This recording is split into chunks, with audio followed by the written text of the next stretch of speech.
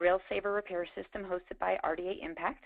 I'm Melissa Jolls with RDA Impact, and Tim Gerhards, product designer, former collision technician, and president of TG Products, is your presenter today. The webinar will take approximately 15 to 20 minutes, and as always, we're recording it and we'll post it on our website under training videos as well as our YouTube channel. If you have questions during the webinar, type them in the chat box at the bottom right of your screen, and I'll give them to Tim during the presentation.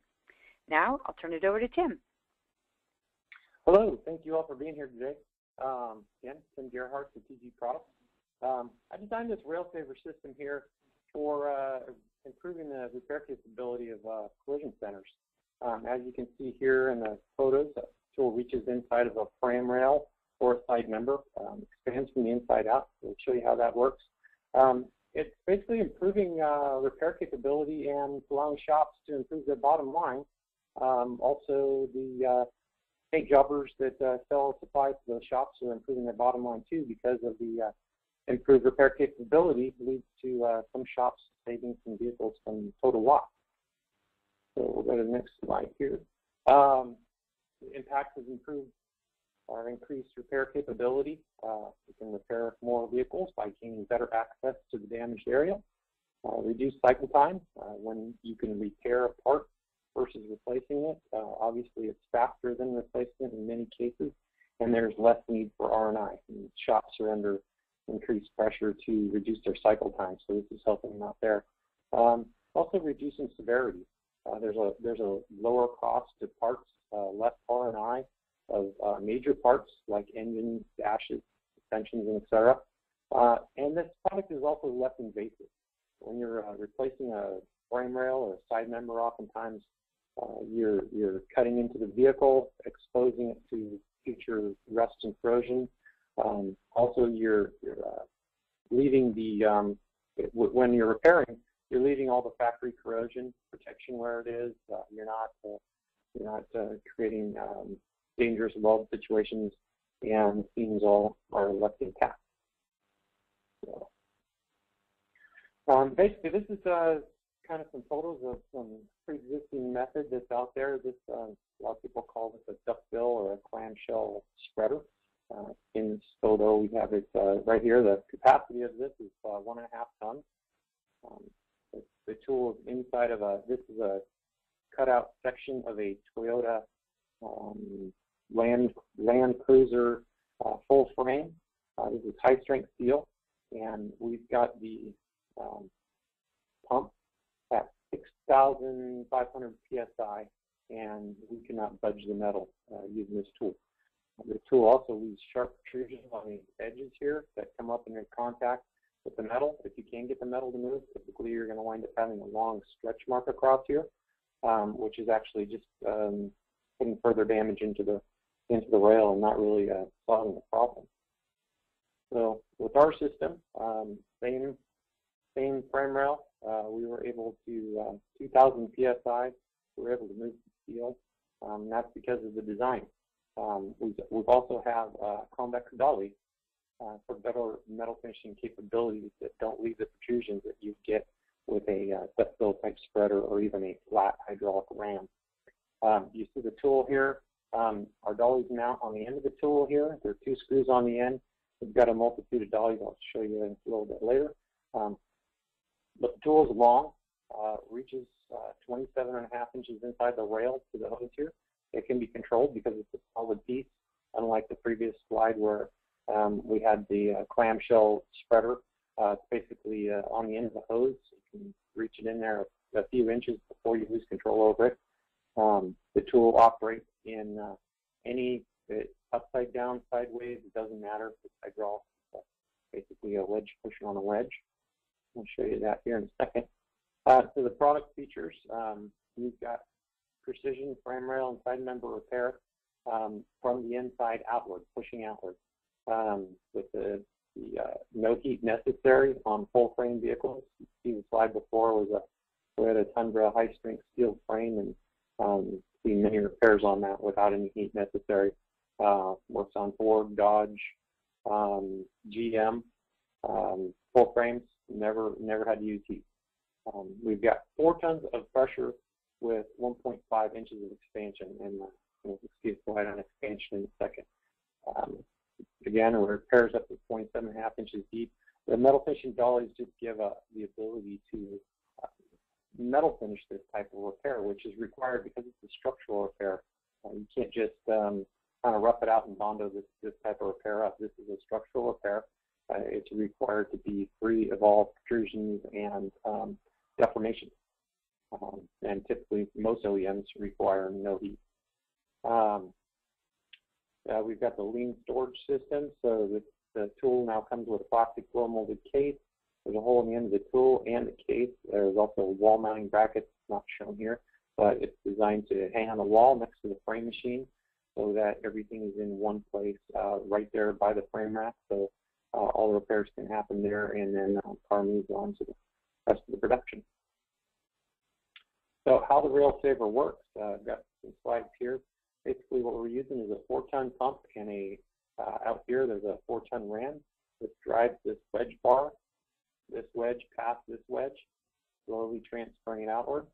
And as you can see, it raises the height. And so this is basically, uh, I like to call it a solid adjustable dolly inside the frame. Um, it's solid because this is a solid mass.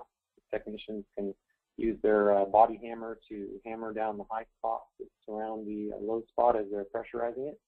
And uh, it just gives them a very solid uh, repair inside. So here are our uh, metal finishing dollies. We have this red uh, universal mounting plate right here.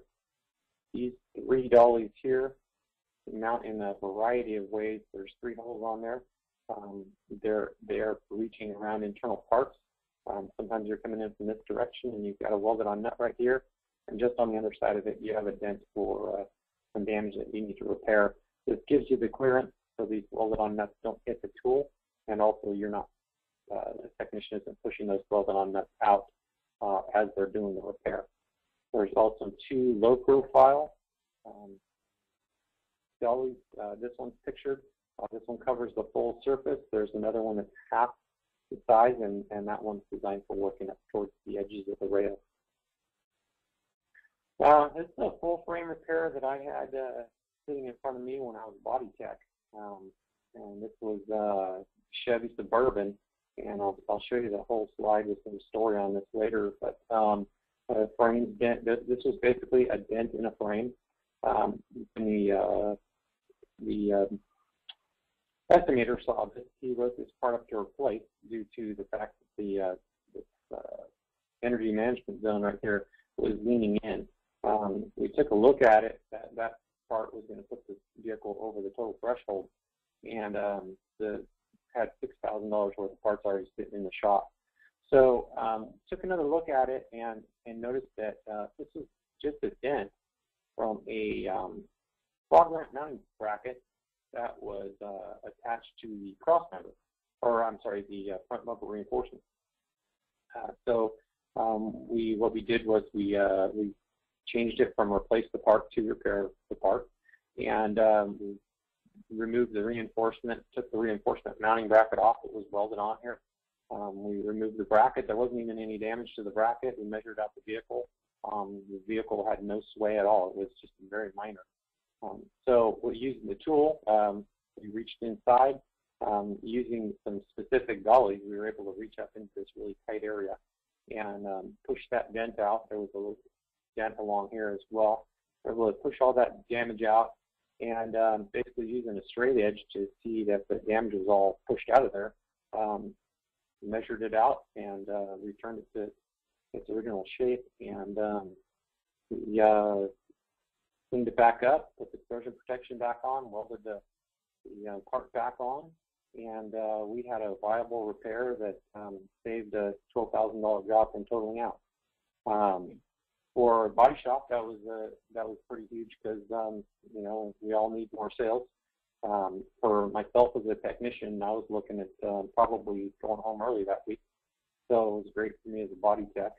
Um, and then also our uh, paint jobber also sold supplies for a entire front end group on a um, Chevy Suburban um, blending both doors, and uh, there was body filler on one of the doors. So um, it was a it was a pretty large repair and uh, you know, kind of a win for everybody. The customer uh, was going to get their vehicle back, and they wanted their vehicle back, so they wanted it repaired.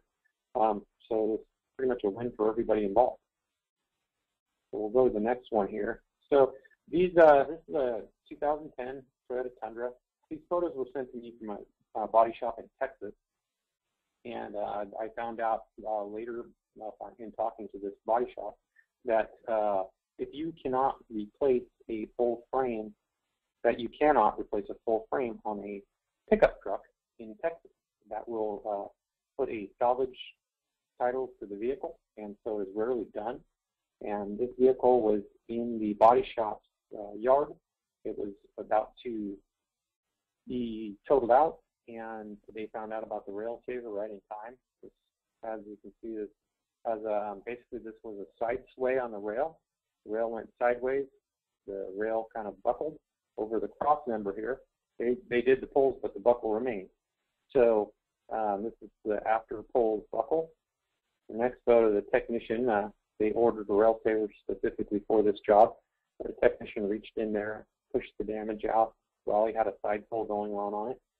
And um, this is a email that I had to delete the, the names of the people involved, but um, it, it was emailed to me after with the photos. Um, to see the attached photos of the rail saver in action um, being used to repair a frame rail on a 2010 Toyota Tundra.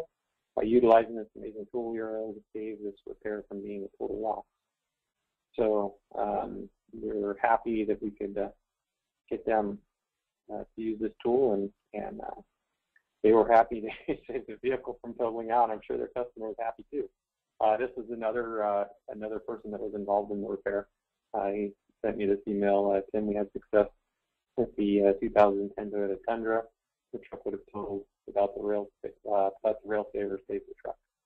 Um, so, uh, you know, we're able to get quality repairs, uh, no deformations, clean repair, and uh, they were able to increase their shop sales by $10,000 that month. So um, as far as repairability goes, um, the technician always needs to check the OEM procedures before attempting any repair. You need to know what the what the steel is made out of. Um, you need to know um, if it is a approved repair. Uh, some of the repair procedures can be found online. Uh, I've got some links to those. Um, you want to follow their guidelines for proper repair.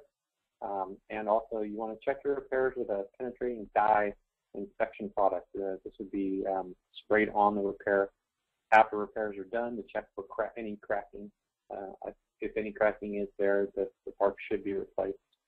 Um, we don't we don't want people repairing kinks um, or hard buckles. Um, this is a kind of a kink versus bend, kink versus buckle area. Uh, this is kind of a a lot of people um, that think that this would be repairable. Um, it's not. This is a kink. Uh, the metal has hit um, uh, 180 to itself. Um, sharp bend. This is a high, high strength steel rail. As soon as this is pulled, there's going to be a crack that's created here.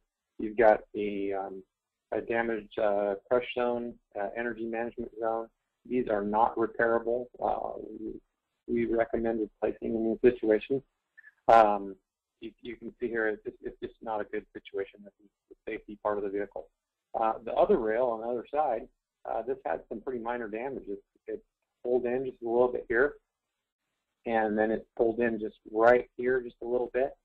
Um, we've had, you know, again, you need to, to follow your uh, manufacturer's uh, suggested repair techniques, but um, this part on this vehicle is, is replaceable, and it's spot welded here. So these welds can be uh, re removed, part can be removed, access to repair, and then uh, the outer parts, uh, the new parts installed. So, you know, really have to look at um, you really have to look at your your uh, OEM guidelines on that. I-CAR has a little bit of information out there, um, but basically um, you really need to check with OEM. Uh, and here is the, uh, some information. Uh, Toyota's repair information. They have a bulletin that's uh, called uh, CRIB Collision Repair Information Bulletin uh, 176. You can pretty much Google that, and you will find their their um, standards on that. Um, General Motors and Ford, uh, they have both have a steel repairability matrix. Um, these come from a study done by the uh, American uh, Steel and Iron Institute. Um, ICAR also has some information on it, um, but ICAR will typically uh, refer to the OEM on that type of repair. Oh, hey, we just went to it. Okay. Uh, so this is the General Motors steel repairability matrix, and uh, as you can see, uh, cold repair is a yes up to um, 799 MPa. So um, I'm, I'm, from my experiences, even uh, lower uh, high strength steels will crack when cold or, or intensive repairs. So that's where it's really critical that you use the, uh, the penetrating dye to check your repairs. Uh,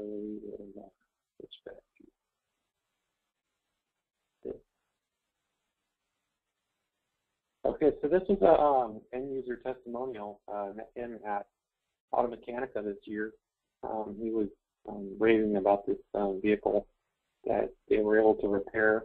Um, the adjuster had um, uh, was convinced that the rail adjuster was convinced the rail needed to be replaced.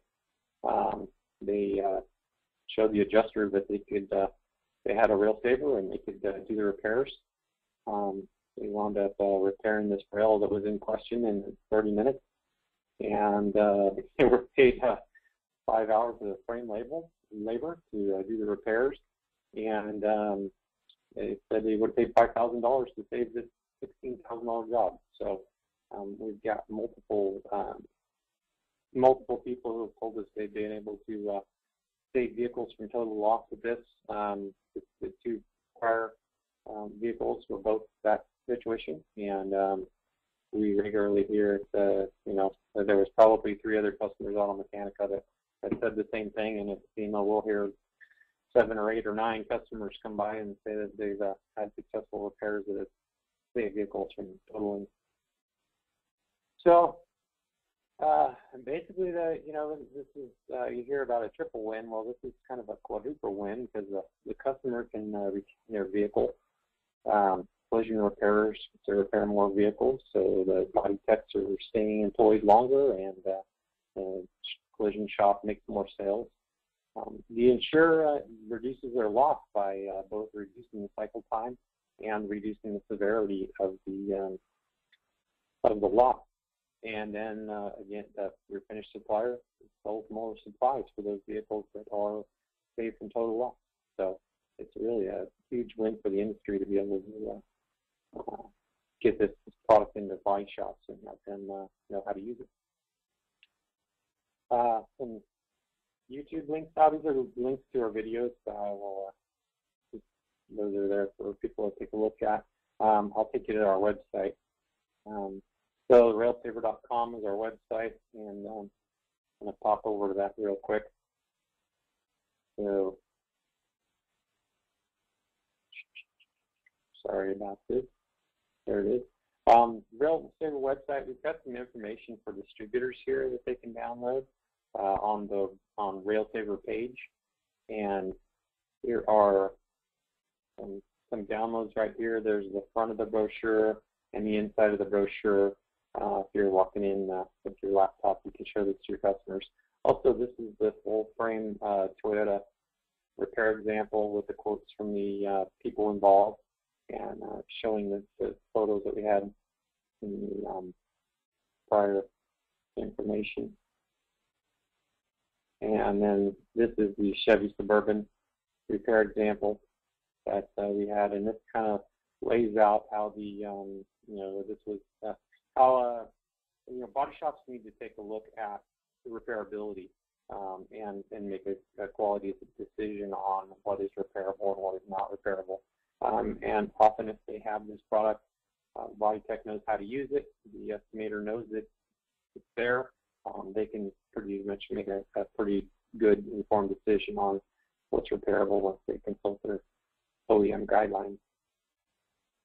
And we have uh, this video here right here, this is a video on how to set up RailSaver. Uh, the, the very few times we have uh, issues with somebody that has, has a problem with our tool, it's typically um, the setup of the tool. So kind of go through how to how to set up and what the dollies are used for.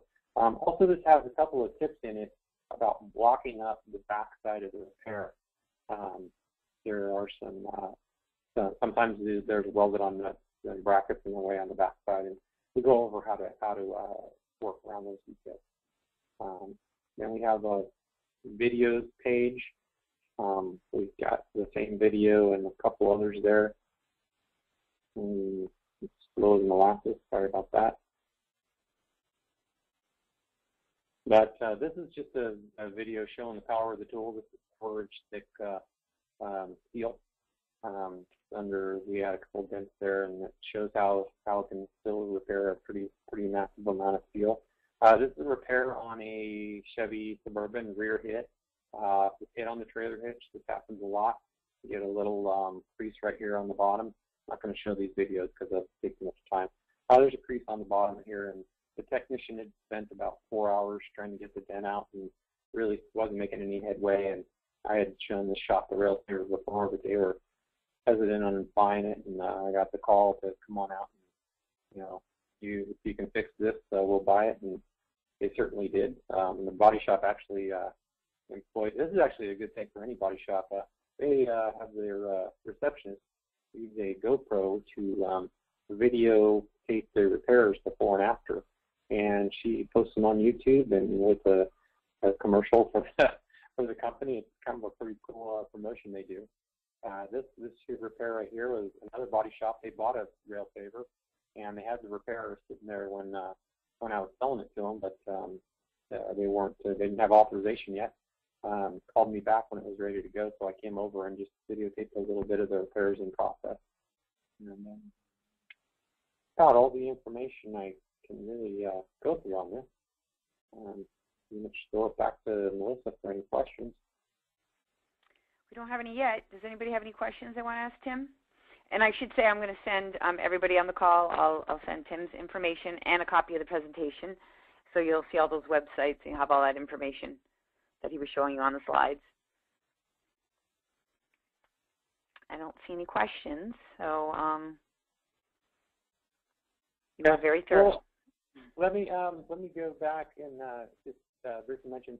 So I've been to uh, I've been to some uh, paint suppliers stores and and seen the RailSaver on the shelf in a store, and um, just from my experience as being a body tech, um, the body technicians really need to know that this is out there. Um, if you have one in your in your paint store, um, take it out to the body shop and and show it to them. Um, typically, they don't know it exists, and uh, if you can show this to uh, body tech and the owner standing there, typically the body tech will say, well, I could have used it on such and such a car, and um, and I wish I would have known about it.